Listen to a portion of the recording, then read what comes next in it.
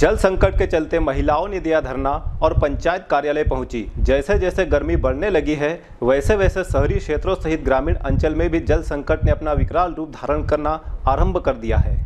नतीजा यह हुआ कि अब प्रशासन की कुंभकर्ण नींद को खोलने के लिए महिलाओं को आगे आकर धरना प्रदर्शन तक करना पड़ रहा है। हम आपको बता दें कि मामला राजगढ़ ज़िले के ग्राम संडावता का है, जहाँ चार दिनों से पंचायत में नल नहीं दिए।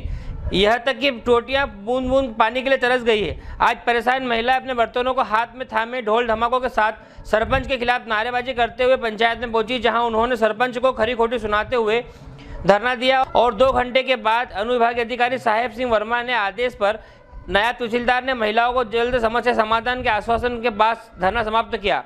वहीं ग्रामीणों का कहना है कि सरकार ने जल वितरण प्रणाली के लिए टंकी का निर्माण करवाया है फिर भी सरपंच ने एक नल फिटिंग के एवज में एक हज़ार रुपये लिए नगर में एक हज़ार नल कनेक्शन हुए जब पंचायत ने इतनी राशि कमाई है तो फिर जनता पानी के लिए तरस क्यों रही है ये चिंतनीय है राजगढ़ से ओम प्रकाश गुप्ता की रिपोर्ट एक भी हैंडपंप नहीं चल रहा कोई भी और पानी की व्यवस्था नहीं है बिल्कुल भी जो पैसे थे उन्हीं के बारे में नहीं, दिए एक हज़ार भी नहीं कहीं भी ले नल बंदी लगाया ना?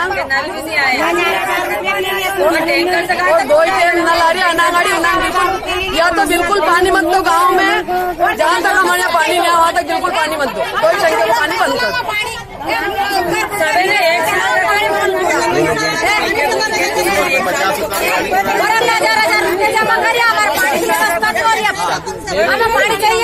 सवेरे एक हज़ार सत्रह बार गाँव में पानी मत दो।